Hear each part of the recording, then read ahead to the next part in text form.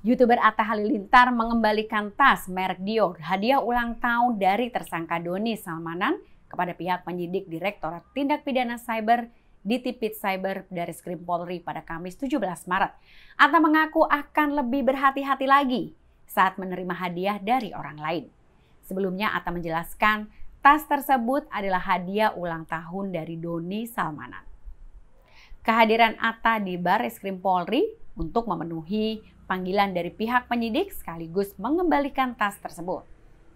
Atta juga menyebut sama sekali belum pernah menggunakan tas dari pemberian Doni Salmanan itu.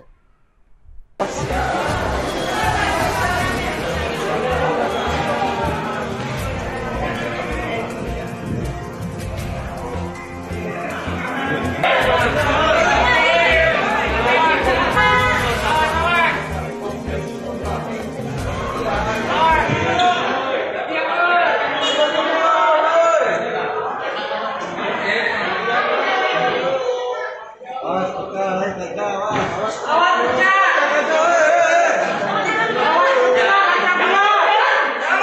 jangan ngalangin gue.